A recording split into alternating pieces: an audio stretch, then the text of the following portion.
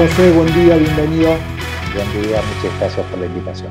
José, ¿empezamos por el segundo semestre o vamos al primero que fue muy malo? ¿Cómo, cómo, cómo querés arrancar? ¿O querés mirar optimista hacia lo que viene?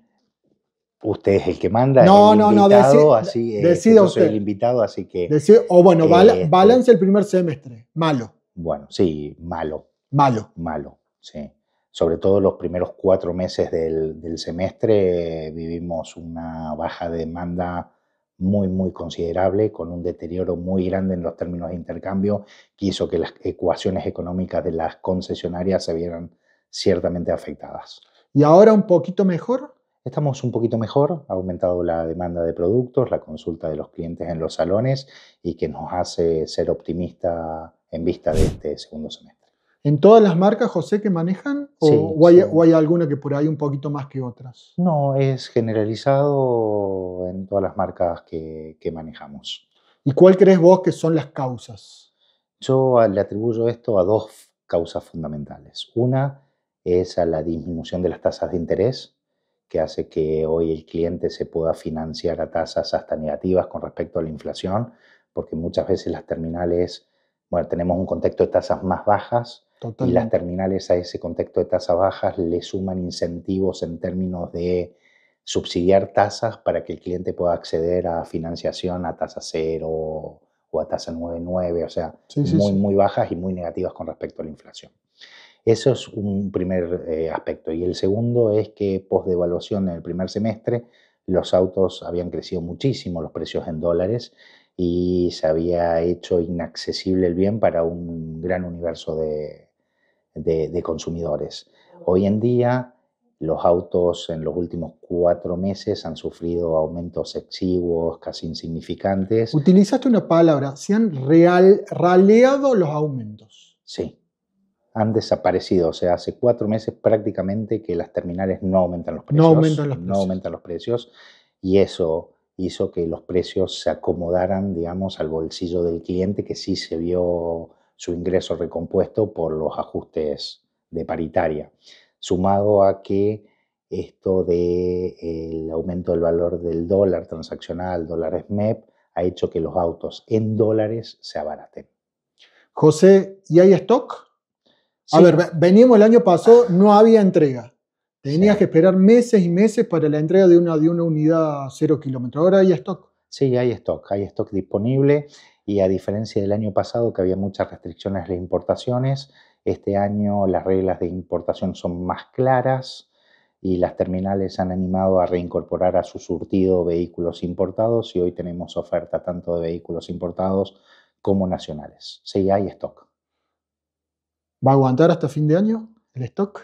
Espere- esperemos que sí, esperemos que las terminales eh, eh, puedan readecuar eh, sus planes de, de fabricación y de importación a los nuevos mercados que, que se están planteando, digamos, o a la nueva demanda del consumidor y poder abastecerla. José, contame un poquito cómo está cada una de las marcas de, de AutoCity. Bueno, nosotros tenemos la suerte de representar en Córdoba seis marcas. Las seis sumadas representan cerca del 55% de la oferta de autos en el país, o sea que un cliente que esté buscando un auto, este, de cada 10 clientes nosotros podemos atender a casi 6 de ellos Mucho. y satisfacer sus necesidades, así que Y nosotros el año pasado me tiraste un, un porcentaje de cuánto representaba la venta total de AutoCity en el país. ¿Puede ser? O... Sí, sí, nosotros representamos 3,5% total país, o sea, de cada 100 autos que se venden en el país, nosotros 3,5. 3,5 patentamos y en Córdoba ese número llega a cerca del 30%. O sea, en Córdoba 3 de cada 10 autos que patentamos 10. lo comercializamos nosotros. Volviendo a las marcas, contame. Bueno, nosotros representamos, te decía, esas seis marcas. eh, entre ellas está Fiat, eh, una marca muy activa que el año pasado y, y los, sus- los anteriores también con una estrategia de posicionar al Cronos nos ha generado buenos niveles de negocio y ha brindado al público un producto, digamos, que por prestaciones y precio fue muy talentoso eh, que este año no se quedó atrás y a esto que te decía de que se sumaron unidades importadas, también eh, siguió esa estrategia y hoy en la marca no solamente podemos contar con Cronos, sino tenemos un lanzamiento de un vehículo importado Fastback de muy reciente lanzamiento que, es, que, gustó mucho en el mercado argentino. Eh, volvió el Pulse, la Fiorino, la Estrada, Toro, o sea que el surtido está absolutamente completo dentro de la marca. ¿En Peugeot? En Peugeot veníamos de ser monoproductos el año pasado y el primer semestre, únicamente nuestra oferta comercial con un auto muy talentoso, que era el 208, pero con una oferta muy reducida a ese solo vehículo. Para el segundo semestre es una marca que nos va a dar mucha satisfacción a nosotros y a, los consumidores, porque no solamente estamos presentando el lanzamiento del nuevo 208, que viene con cambios significativos, no solo en la estética, sino también que incorpora un motor de, nueva tecnología, un motor este, turbo de 200 eh, newton metros, o sea que, equipa al auto realmente con, un motor de, última generación.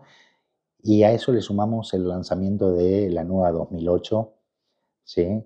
Que ya empezamos con la preventa en planes de ahorro y esperamos durante agosto hacer el lanzamiento público.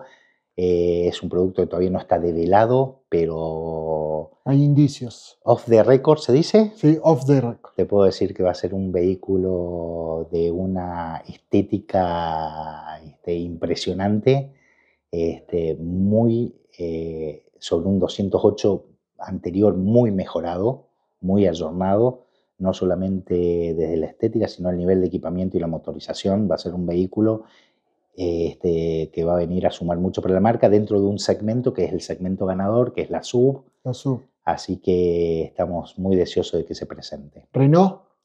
Renault, Renault también viene con muchas novedades, eh, porque Renault a nivel regional está haciendo un cambio de gama muy significativo en Brasil y que eso ya está permeando en el mercado este, argentino. Eh,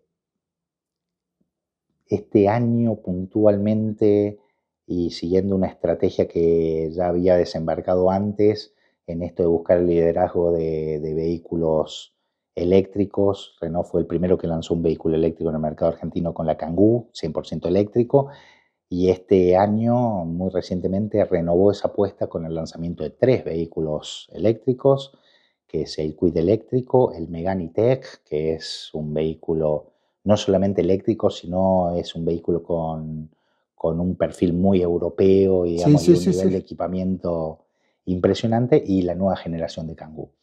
A eso sumamos todavía el vehículo eléctrico, es un vehículo de nicho, de bajo volumen, pero que... Se tiene, se tiene que imponer. Se tiene que imponer y tiene que acompañar este, la infraestructura general de electrificación, digamos, para hacer que el, que, el, que el, uso se popularice. Totalmente. Eh, y lanzó, ahora estoy hablando con vos y estamos en medio del lanzamiento, lanzó en preventa y el lanzamiento va a ser el 15 de, de agosto de la Cardian, que es una suburbana que también viene con una imagen eh, revolucionaria, eh, una imagen muy europea, muy al perfil de, de, de Renault Mundo que incorpora una motorización nueva, también turbo, y una novedosa caja automática con doble embrague, convertidor de par, digamos, también, que suma muchísima tecnología. Es un vehículo que la preventa fue muy exitosa. Este, los clientes que han podido compartir la imagen, digamos, o ver la imagen que, que se difundió en redes oficiales de la marca, eh, están muy deseosos de conocer el, el producto Así que también tenemos, somos muy optimistas sobre el impacto de ese lanzamiento en la marca. José, muy cortito las otras tres. Sí. El título de las otras tres. Bueno, Jeep sacó la Rampage. Sí. Eh, así que el, Cordero ya tiene una un presencia en el mercado de las pick-up medianas, un vehículo fantástico. Invito a todo el que quiera conocer. Tenemos test drive disponible vale la pena, digamos, vivir la experiencia de manejar ese vehículo y se esperan nuevos lanzamientos para este año todavía no develados.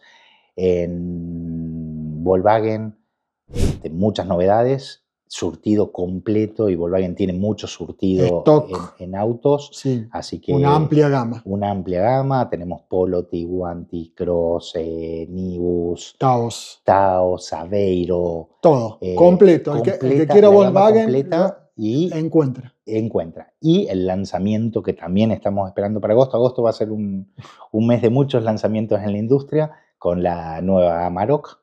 Así que también aprovecho, si me permitís el momento, para invitar a, a todos los interesados a que se lleguen a la concesionaria a partir de mediados de agosto para conocer, para conocer la gama. Me está faltando una marca, Te está faltando creo, una. Nissan. Nissan. Con esa cerrás las seis. Bueno, Nissan con una estrategia muy fuerte de seguir imponiendo la, la- la camioneta, la Frontier, que es de fabricación acá en Santa Isabel, fabricación cordobesa.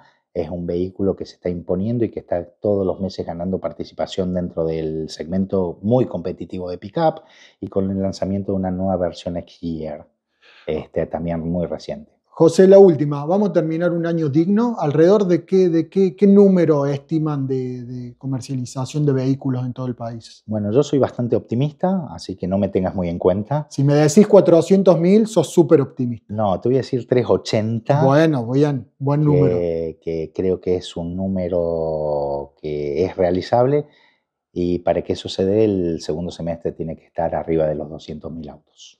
Gracias por venir, José. No, gracias a ustedes por invitarme.